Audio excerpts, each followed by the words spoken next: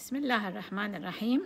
طلابنا المحاضرة التاسعة اللي هي تكملة لل aggregate planning إحنا انتهينا بالمحاضرة الثامنة إنه أخذنا ال mix strategies الاستراتيجيات المختلطة. فحتى قلنا إنه ال mix strategies تنطينا حلول غير متناهية كثيرة جدا. فحتى نقدر نسوي refining لهاي الحلول نروح على ال mathematical planning models فأكو عدة mathematical planning models هاي تستخدم حتى تقلل من هاي أو تنطينا الحلول الأفضل من ناحية الكلفة وعدد العمال والآخرين اللي هي ال non optimal but easily to transfer. هذني ال mathematicals model هي أربع أنواع linear programming وال linear decision rule LDR وال management coefficient وال computer search models الحقيقة ال LDR هو مو سهل بالفهم ومو دائما ينطينا حلول منطقية. وال management coefficient هو مو optimal ما ينطينا optimal لكن ممكن أن يتحول. أما ال computer search do, do not necessarily yield a global minimum cost مو بالضرورة ينطينا minimum cost.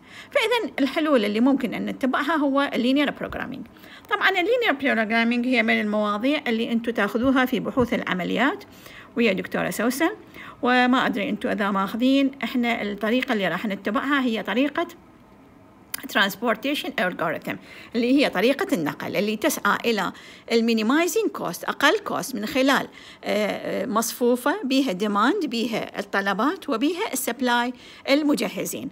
وتحوي على inventory on hand الخزين وتحمي تحوي ال regular time الوقت الطبيعي الوقت الأصلي أو وقت الدوام الفعلي وال overtime وال subcontracting وال demand يحسب فترات معينة ويأخذ بالنظر الاعتبار إذا أكو خزين. وهذه كل وحدة من هذه لما نجي ننقل من demand إلى supply يكلفنا فد كلفة يعني من ننقل مثلا من محطة كا من محطة وقود إلى مثلا محطة ثانية أو إلى مثلا بنزين خانة.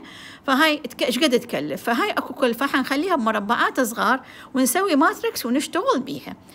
فحنكون هذه الطريقة إن شاء الله واضحة من خلال المثال اللي هو ال illustration 9 طبعا هنا أنا شوية الملزمة عندكم بعض الأخطاء المطبعية بيها. أنا راح أدز لكم هاي المح... الملزمة مرة ثانية. اللي بيها أخطاء مطبعية هي مؤشرة بالأصفر حتى تكون سهلة للتعديل عندكم. طبعا ال illustration يقول given accompanying supply demand cost and inventory موجودة بال tables 5 14 و 5 15 لشركة اللي عندها constant workforce عندها عمالة ثابتة. و wishes to meet all demand تريد تسوي تلبي كل الطلبات with no back orders. Uh, allocate production capacity لازم تخصص ال capacity حتى uh, ما موجود من طاقات متاحة حتى تغطي ال demand ب minimum cost هاي التيبلات اللي عندنا. ال table الأول اللي هي عندنا أربع periods واحد واثنين وثلاثة وأربعة regular time سعرة 100 unit 100 وحدة نقدية لل unit ال overtime 125 وحدة نقدية لل unit وال subcontract subcontract 130 وحدة وحدة نقدية لل unit. ال period ال period 1 هي ال regular time 60 available supply و18 overtime و1000 subcontracting ونفس الشكل 50 15 ألف و60 18 ألف والرابعة 65 20 ألف. عندنا خمسين percent هي cost of labor. ال table خمسة عشر عفوا. ينطينا الديماند. فبالبيريد واحد يحتاج لنا مية. بالبيريد اثنين خمسين بالبيريد ثلاثة سبعين وبالبيريد أربعة ثمانين. لا عندنا initial inventory عندنا خزين بداية المدة. عبارة عن 20 ويحتاج أنه نبقى خزين في نهاية المدة 25 من عندنا 20 نهاية بداية المدة. يعني إحنا إذا نحتاج 100 100 خزين فإذا 100 ال demand مالتنا. فإذا عندنا 50 20 فمعناها إحنا نحتاج فقط 80 فإذا عندنا خزين هذا حنستخدمه حتى نسدد.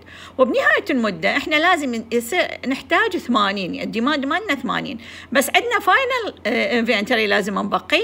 فيصير عندنا ال total 80 زائد 25 يصير 105 ال carrying cost كلفة الاحتفاظ بالخزين هي 2 وحدة نقدية للفترة الزمنية.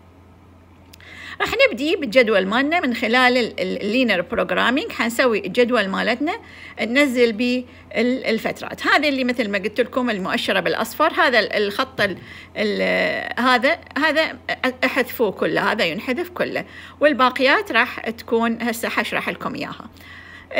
هنا ال inventory. بال period الأولى إحنا قلنا الخزين يكلف وحدتين نقدية بالو... بال... بال... بال period فبالفترة الأولى هو صفر. بالفترة الثانية ال initial inventory حيكلفنا طبعا كل الجدول هو هذا كلف. ال period الثاني هو اثنين. يعني خلال period وحدتين نقدية. بالفترة الثالثة حيصير اثنين زائد اثنين يصير أربعة. بالفترة الثالثة أربعة زائد اثنين ستة. فإذا هذا. وال total available قلنا في بداية المدة عندنا عشرين. ال initial inventory هو عشرين. بالنسبة لل regular هذا ال period 1 مثل ما قلنا نحتاج 100 125 130 هاي من الجداول اللي آه حكينا عليها. وهنا بالنسبة لل period 2 100 125 130 و period 3 100 125 130 وال period 4 100 125 130 نشوف هنا الكلف. بما إنه آه هنا قلنا يعني ال 100 هذه لما تروح على ال period 2 الخزن مالها حينضاف ل 2 لل period فتصير 102 كلفتها. بال period 4 104 يعني حتنضاف كلفة الخزين إضافة إلى سعر ال regular. فهنا يصير 104 هنا 106 هذا ال available عندنا من ال regular؟ هو 60 وبالنسبة لل overtime 18 وهنا 1000 طبعا هذا ال 16 خطأ هو الحقيقي 60 60 أنا صلحت لكم إياه. خطأ مطبعي بالملزمة طبعا نفس الشكل 125 إذا إذا احتفظنا ل period كاملة لفصل كامل حنضيف لاثنين للكلفة فيصير 127 بالفترة الثانية بالفترة الثالثة 129 بالفترة الرابعة 141 وال total available 18 ال 130 هو ما نحتفظ به لأنه هو subcontract فما بي كلف إضافية. هنا نفس الشكل ال 100 هاي إذا فاتت عليها period يصير 102 وهنا يصير 104 ال 125 127 129 هنا ال period 300 102 و125 إلى 127 وهنا بالفترة الرابعة ما يمضي عليها أي فترة فبالتالي ما عندنا أي أي زيادة بالكلف للخزين. ال total demand هنا قلنا بالفترة الأولى نحتاج نحتاج 100 وبالفترة الثانية خمسين هاي أكو بالملزمة أكو خمسة صلحت لكم إياها خمسين. وبالفترة الثالثة سبعين وبالفترة الرابعة مية وخمسة. وال total ال available هو آه هذا هسه حنشوف شلون حنطلعه. فهذا هو ال matrix الأولى هي عبارة عن matrix الكلف.